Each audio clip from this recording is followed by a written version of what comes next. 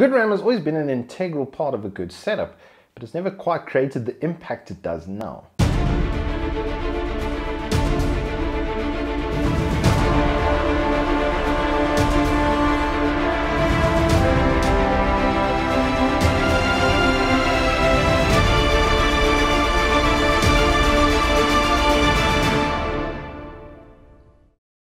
Good afternoon and welcome to Turbo Tortoise Tech. If you're new here, I'm Reese, four piece of the KFC variety Milwaukee Triple XL. And in this review, I'm going to be looking at RAM and Ryzen. Well, it's not really a review. It's a part three of our AMD CPU month piece, and I've done generational look at well generational improvements from 2700X and the to the 5600X, where six cores now equals eight cores, except the six cores are even faster than the eight cores used to be insane.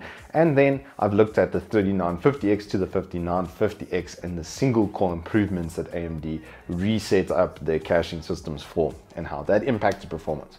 But now we come to perhaps the cheapest and most important upgrade you can do, especially if you have a Ryzen system. AMD loves fast RAM, it loves dual channel RAM to the point of somewhat ridiculousness. And funny enough, actually speed trumps the dual channel setup, which is was interesting to figure out and find out along the way. So to do that, I needed obviously quite a lot of RAM. So my normal baseline is the Klevv CRAS X RGB. It's 3200 CL16 set. But for this, I went to the top of the top really of where you want to go with Ryzen, where you actually do get some performance improvements. And that's the 3600 megahertz with the CL18 CAS latency. My previous set of RAM was the Corsair 3466 kit, the original Vengeance RGB Pro, one of the only kits that was certified back then for 3200 CL16 on Ryzen, and I've been using it on every platform since. The compatibility has been absolutely fantastic. And funnily enough, this Klevv CRAS X RGB, I think uses an identical controller because I literally put those two different kits in together, which is usually not a good idea, but it ran absolutely flawlessly. And we did it more than once. We did it even with newer kits of the Vengeance, the, the original, the, well, the normal 3200 CL16s. With these at rated at 3200 CL16, they were identical uh, as far as the motherboard was concerned, at least. So to test this, we're going to be using my main rig, which I've shown in the 3950 and the 5950X video. Uh, I'll flash that across the screen for you, but I'll flash the full spec on the side. Now, the only thing that's changed from system to system is the RAM setup. So I had a single 16 gig DIMM of 3600 CL18. I had two 16 gig DIMMs to make 32 gigs worth of that in dual channel. And then I had four by eight gigs because there was a piece done a little while ago, actually, by Steve from the guys at. Uh, 12 seconds later. By the guys at Gamers Nexus. I completely forgot what their channel was called there for a moment. But he was basically showing and hypothesizing that four DIMMs beats two and by a significant margin. Now, I wanted to see if that continued with the RAM speeds gain. Because I noticed even just going to 3600 from 3200 I had some pretty significant performance increases about 5 to 10% across the board. And so that's what I set out to test is if that would still be consistent with one versus dual channel versus quad or full set in dual channel setup. By going to four randoms, it does not enable quad channel memory support. That has to be available on the processor, just to be clear. But for this, I went into some not so insignificant detail and ran like 36 benchmarks. So what I'm gonna do now is jump over to the PC setup so that I can do a bit of a talking head piece with all of the benchmark data so that I don't miss anything.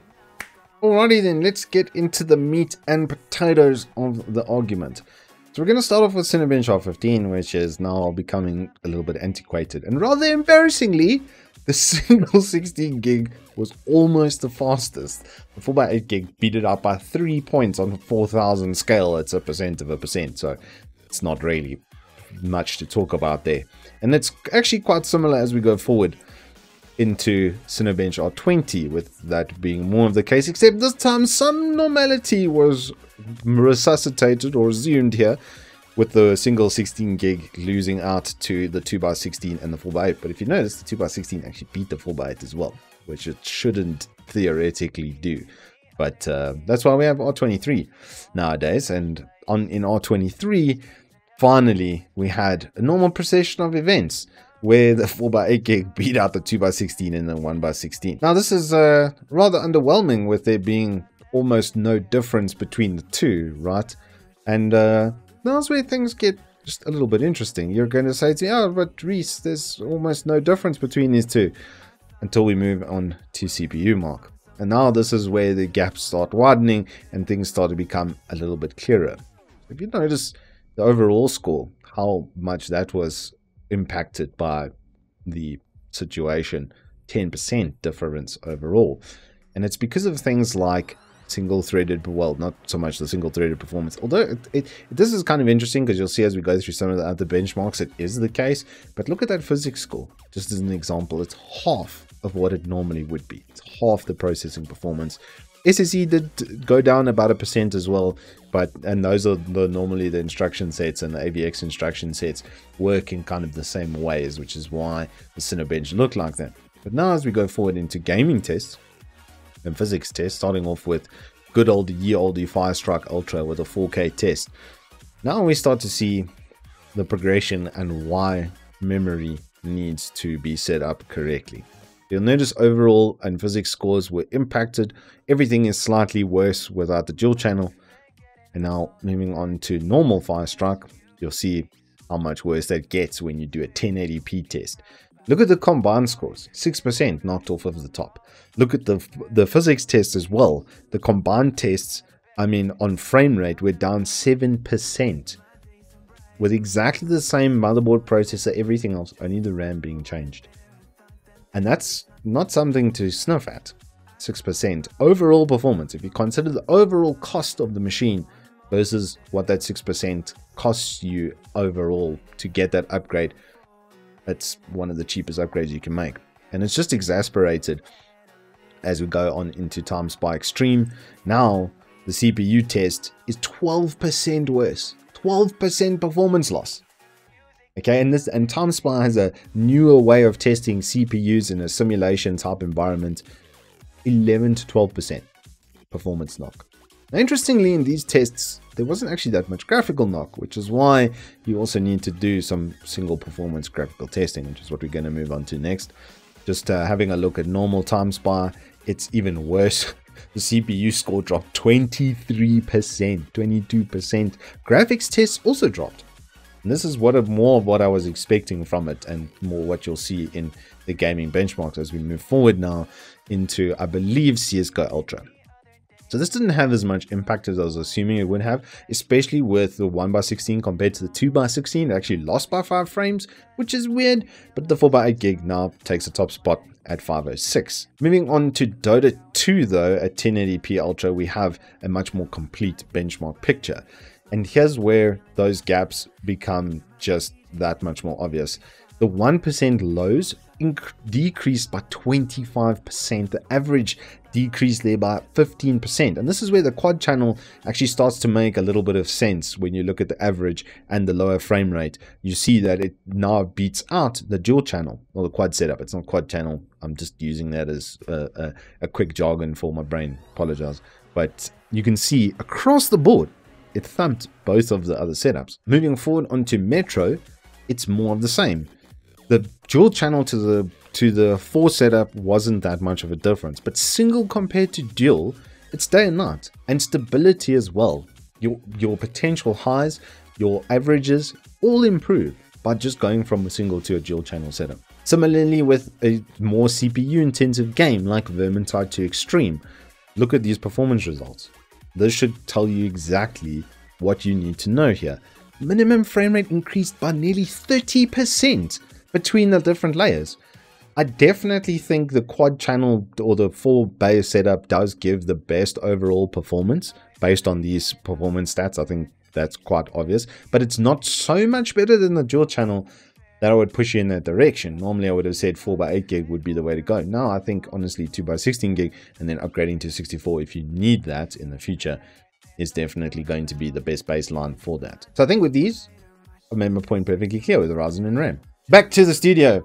I think with what I've now shown you, it should be unequivocal that you really need dual channel memory setup. The quad channel, the full 4 bay worth of memory doesn't actually create that much impact, especially when you're on a 3600 megahertz platform. Even the single 16 gig DIMM at 3600 CL18 was better than what I was getting of 3200 CL16. Ooh, very comparable to that. And when I went dual channel, then obviously I got that performance increase. But here's the thing, right? With Ryzen, we're always, well, with PCs, a lot of us are chasing that pinnacle of performance. And the RAM setup, comparatively to an entire build, is one of the cheapest ways to get performance. A good RAM kit at 3600 CL18 won't cost you north of two and a half grand for even the 2 by 8 gig. You have to have that dual channel though. You can, I think that's a moot point, right? I think the quad channel is maybe, or the quad setup is something nice to have. But the point of this presentation is a single DIMM is a bad idea. Higher speed is going to result in better performance to the point that the 3600 almost beats the 3200 even with that dual channel setup unlocked. But once you go to dual channel, that's where the magic really starts happening with Ryzen. It's something that you need to pay a lot of attention to. And there's a lot of 3600 CL18 in the market now. Compatibility from brands like Klevv and Corsair, absolutely perfect. I've never had any issues with them. They literally plug and play on every single platform. So those come highly suggested for Ryzen, which can be sometimes just that little bit finicky. Considering my own setup with the 4 8 gigs, I think 32 is fine for the time being. Games don't really use more than 8 gig. The one caveat to that being Tarkov, which I have played previously, which I have seen use up to about 11 gigs worth of, VRAM, of RAM um, and, and VRAM. I think just Charles resources. It's optimized the same way the NC budget is optimized. Not at all. So yeah, it does uh, tend to take out resources like a rampant California fire.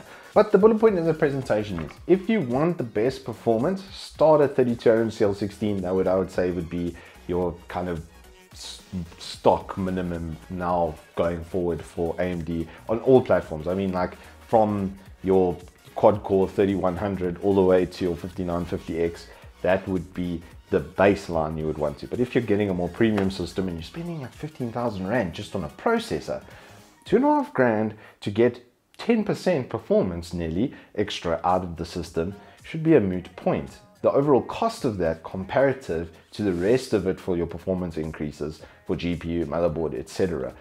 This is one of the best and cheapest ways to get extra performance out of your platform.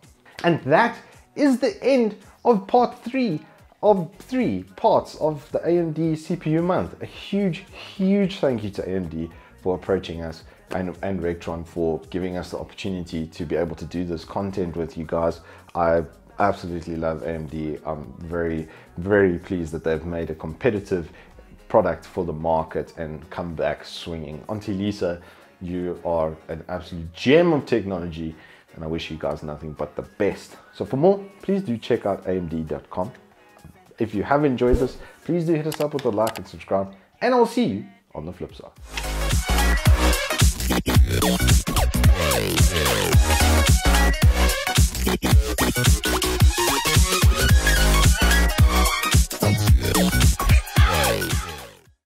Uh, do you want to go past?